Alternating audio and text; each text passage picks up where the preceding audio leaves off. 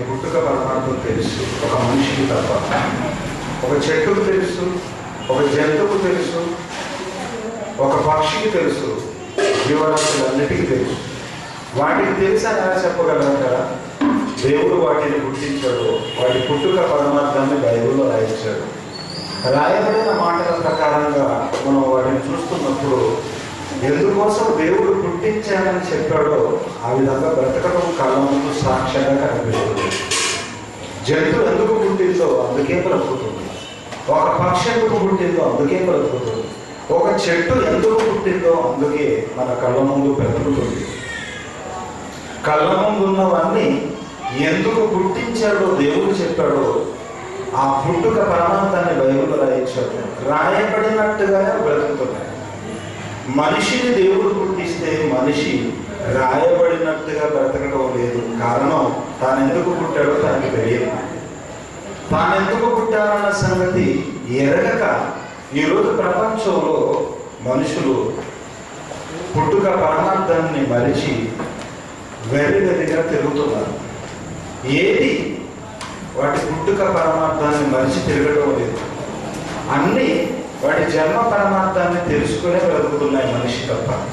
అందుకే మనిషికి ప్రతి పుట్టినరోజు ఎందుకు పుట్టావు అన్నది తెలుపటం చాలా అవసరమైంది ఈరోజు ఈరోజు ప్రపంచంలో పుట్టినరోజు జరుపుకుంటున్న ప్రతి ఒక్కరికి పుట్టుక పరమార్థాన్ని దేవుని మాటల్లో నుంచి చెప్పడం చాలా అవసరమైంది. ఎందుకంటే మర్చిపోయాడు మనిషి. తెలుసుకోలేదు మనిషి అన్నీ తెలుసుకున్నాయి. మనిషి ఒక్కడే తెలుసుకోలేదు. అందుకే ఈరోజు మన జన్మ పరమాత్మాన్ని మనం తెలుసుకోవడానికి ప్రయత్నించాలి.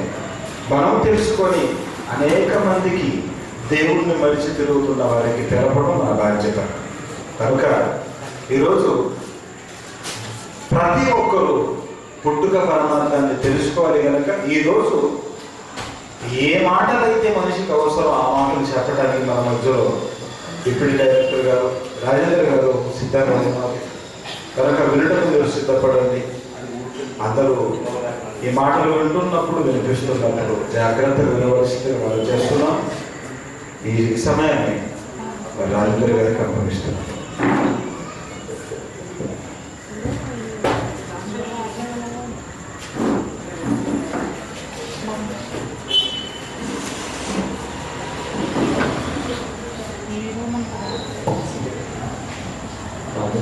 Thank you.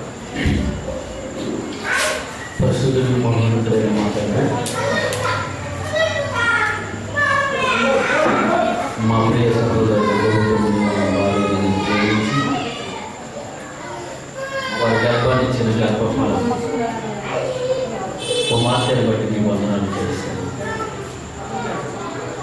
చక్కటి అవయవ నిర్మాణంతో చక్కటి రూపురేఖలతో తల్లిదండ్రులకు ఆ బహుమానాన్ని మీరు అనుగ్రహించినందుకు వలన పుట్టిన తన జీవితంలో సంవత్సరం గడిచి మరో నూతన సంవత్సరంలో పట్టుబడి తీసుకోవాలి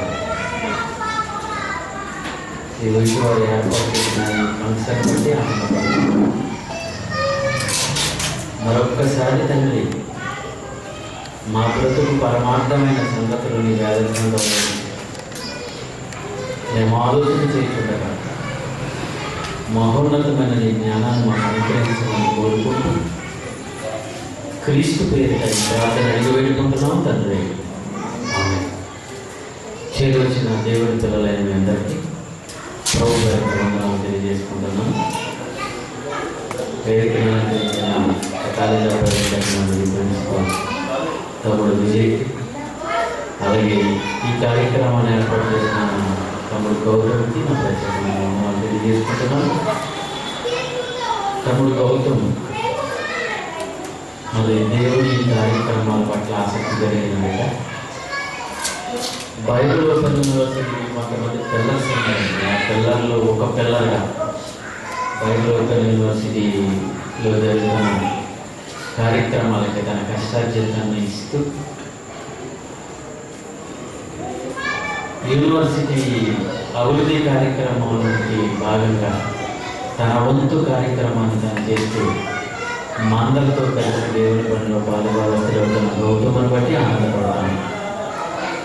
ఆయన దేవుని ఎడల చేస్తున్న కార్యక్రమం.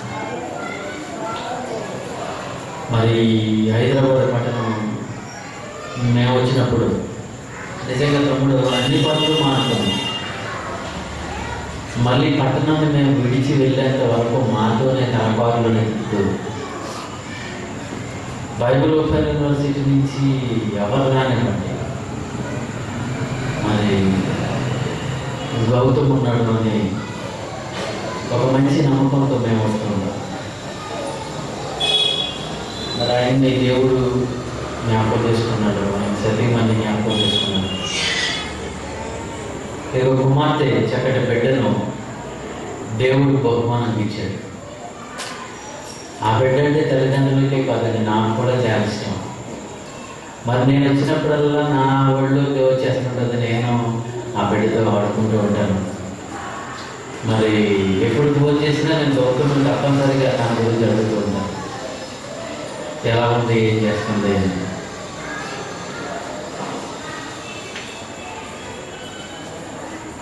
బైబిల్ గ్రంథంలో అనేక మంచి మాటలు ఉన్నాయి కొన్ని మాటలు మాత్రం మనం చూద్దాం. పెళ్ళైన ప్రతి ఒక్కరికి మనం బహుమానాలు ఇస్తుంటాం గౌతమ్ వివాహానికి కూడా చాలా గిఫ్ట్స్ వచ్చి ఉంటాయి. భార్య తల్లిదండ్రులు ఆ గిఫ్ట్స్ని దాని దాచుకుని ఉంటారు ఒక సంవత్సరం రెండు సంవత్సరాలు మూడు సంవత్సరాలు. ఒక పది సంవత్సరాల వరకు చాలామంది ఇది మా పెళ్ళికి వచ్చిన గిఫ్ట్ అండి అని చూపిస్తుంటారు. పెళ్ళైన కొత్తలు అయితే ఆ కొత్త రోజుల్లో నెలల్లో పెళ్ళైన దంపతుల దగ్గరికి వెళ్ళినప్పుడు వారి ఫోటో ఆల్బమ్ చూపిస్తారు ఆ తర్వాత వారికి వచ్చిన గిఫ్ట్స్ చూపిస్తుంటారు. ఇదిగో పలానా ఆయన గిఫ్ట్ ఇచ్చాడండి. ఈ బహుమానం వచ్చిందండి. అని చూపిస్తుంటారు. అది కొన్ని సంవత్సరాల తర్వాత అవి ఆ గిఫ్ట్లు ఏమీ కనపడవు.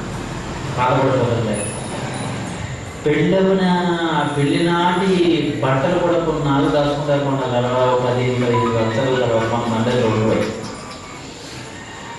అంటే పెళ్ళికి వచ్చిన బహుమానాలని మర్చిపోతూ ఉంటారు. మనిషికి ఇచ్చిన బహుమానాలు బంగారం అవ్వచ్చు లేకపోతే ఏదైనా ఒక చక్కటి బహుమానాలు ఉంటాయి కదా. ఒక డిన్నర్ సెట్ లేకపోతే ఇంకా వాళ్ళకి ఇష్టమైన ఒక ఏవో ఏవి ఇష్టమైనో మేము మేము పట్టుకెళ్ళిన బహుమానం. నిజంగా గుర్తుండిపోయిలా ఉండాలని కొంటుంటారండి ఎక్కువ మంది స్నేహితులు. కానీ ఈ భూమి మీద ఎంత గొప్పవారించిన బహుమానాలైనా కొన్నాళ్ళకి ఇష్టపడకుండా ఎందుకంటే ఎల్ఎస్టీ వస్తుంటాయి కానీ దేవుడు కూడా పిల్లవని ప్రతి జంటకి బహుమానం ఇస్తున్నాడు. ఆ బహుమానం గర్భఫలం. ఇందాక చదువుతాను కీర్తన గ్రంథం నూట ఇరవై ఏడు కీర్తన. కుమారుడు ఎగువ అనుకరించి స్వాస్యము గర్భఫలము ఆయన ఇచ్చు బహుమానమే. అంటే దేవుడు ఇచ్చిన బహుమానం. ఎవరంటే గర్భఫలం బిడ్డ. ఈ బిడ్డ ఎంత ఇష్టం అండి ఇప్పుడు గౌతముని చెల్లిని అడిగామనుకోండి మీ దగ్గర ఉన్న వస్తువులన్నింటిలో మీ ఇంట్లో ఉన్న అన్నింటిలోనూ మీకు వచ్చిన బహుమానాలన్నింటిలో ఏ బహుమానం మీకు ఇష్టం అంటే వాళ్ళిద్దరిలో ఇవ్వండి. మా బిడ్డ దేవుడు ఇచ్చిన బహుమానం మాకు చాలా ఇష్టం అండి అని చెప్తారు. ఎంత ఇష్టం అంటే మనం చచ్చిపోయేంత వరకు ఇష్టపడతామండి. నేను నా తల్లికి ఒక బహుమానం నన్ను నా తల్లి తన చచ్చి ఆమె చచ్చిపోయినంత వరకు మరణించేంత వరకు ఇష్టపడ్డది.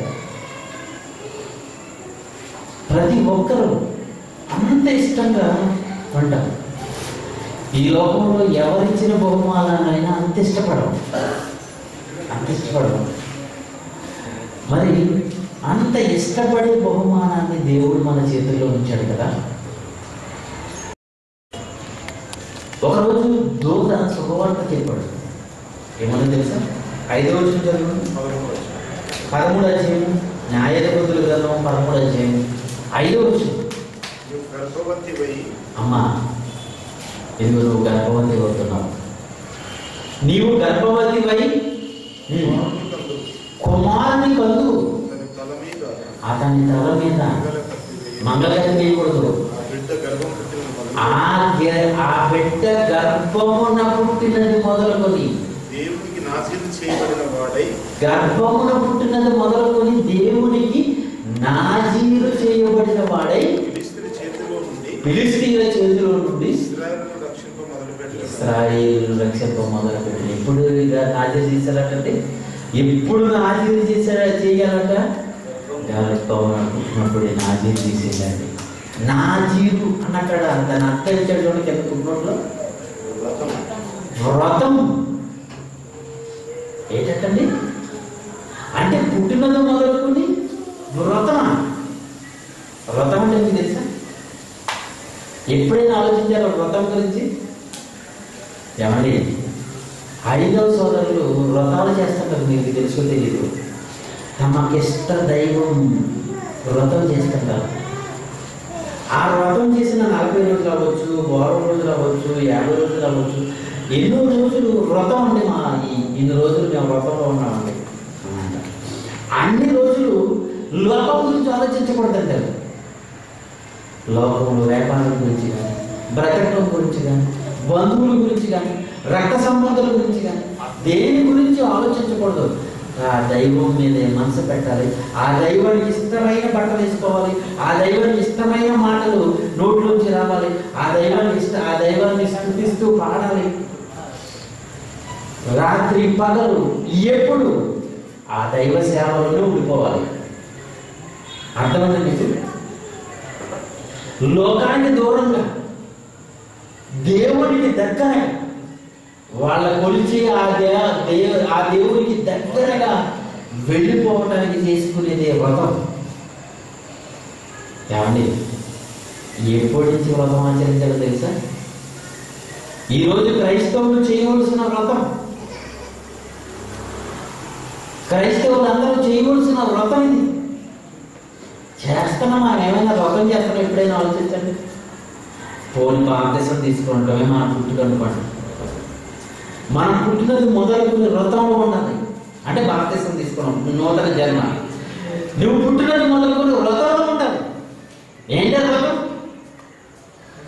ఏంటి వ్రతం అంటే ఇంకెప్పుడు దేవుని మీదే ధ్యాస. దైవ కార్యక్రమాల గురించి ఆలోచన. లోకంలో ఉన్నట్టుగా మురుగులో ఈ ధర్మం వారికి వేరే రక్షణ పొందండి అని చెప్పాడు చూశారు. అలా వ్రతం చెయ్యాలండి వ్రతం చేయాలి మన పిల్లలు గర్భాన పుట్టినప్పుడే దేవుడికి నాజీరు చేయబడిన వాళ్ళు వ్రతం చేయబడిన వారు వీళ్ళు వీళ్ళ నోటిలో మృదు మాటలు రాకూడదు వీళ్ళ వీళ్ళ కళ్ళకు చూడకూడదు దృశ్యాలు చూపించకూడదు వీళ్ళ చెవుకు వినకూడదు మాటలు వినిపించకుండా దేవుని మాటలే వినిపించు దేవుని మాటలే నోటి నుండి వస్తుంటే దైవం గురించి దేవుని చెప్తుంటే నిజంగానండి ఒక్కొక్కసారి ఒక్కొక్క ఊర్లో వెళ్ళినప్పుడు మన పిల్లలు ఇప్పుడు బయలు ఉపయోగించిన పిల్లలు వాళ్ళకి పుట్టిన పిల్లలను తయారు చేస్తున్నారండి. సరిగ్గా మాటలు కూడా తిరగని మాటలు కూడా రాని ఆ పిల్లల నోటులో నుంచి ప్రసంగాలు వస్తుంటే నిజంగా ఆశ్చర్యం అయిపోతుంది ఆశ్చర్యం అయిపోతుంది ఏంటండి? ఇంతకు ముందు ఎప్పుడు పిల్లలు ఎలా చెప్పలేదు? వాళ్ళ మాటలు వస్తుండగానే దేవుని మాటలు వాళ్ళ నోటిలో ఉంటుంటే నిజంగా దేవుని కొరకు నాజీరు చేయబడిన వారు పదవాళ్ళు దేవుని కొరకు నాజీరు చేయబడిన చెప్పండి. చెప్పిన తర్వాత భర్త వచ్చినప్పుడు భర్తకి విషయాలన్నీ చెప్పలేక ఇప్పుడు ఒక దైవజనుడు వచ్చాడు నాకు అమ్మాని బిడ్డ పోతాడంట ఆ బిడ్డ ఎలా పెంచాలని చెప్పాడు. అని చెప్పినప్పుడు మరి ఆ మానవుడు ప్రార్థన చేస్తారంట వాళ్ళు కిందకి చదువుకుంటూ వెళ్ళిపోతానండి ఎనిమిది వచ్చిన అందుకు మనం అందుకు తప్ప నా ప్రభువా. నీవు పంపిన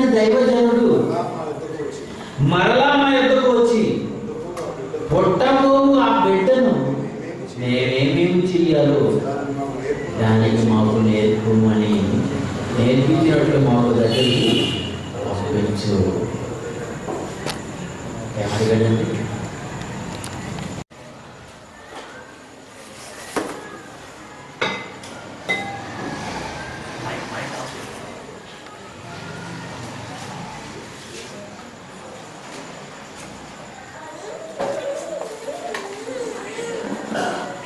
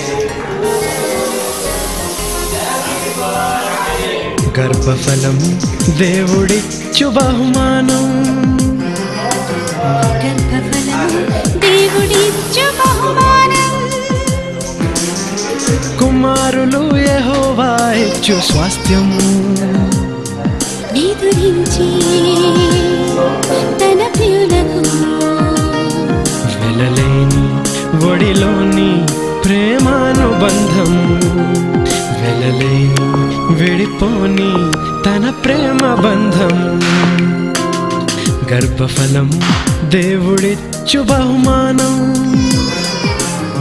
గర్భఫలము దేవుడిచ్చు బహుమానం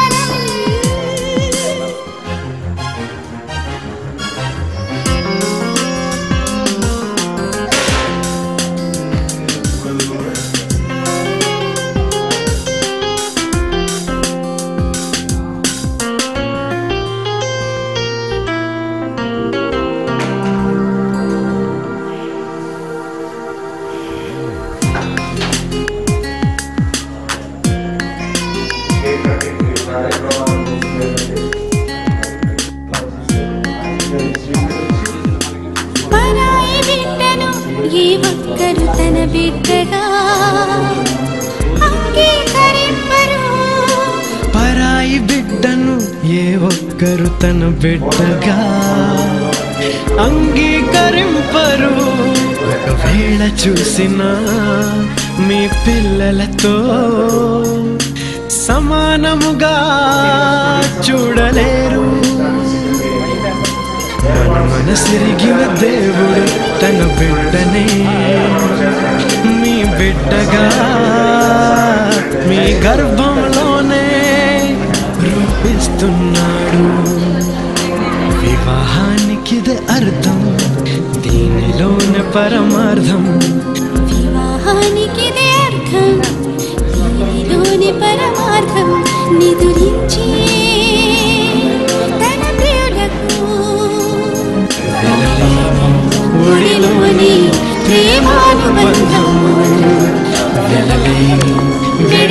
me.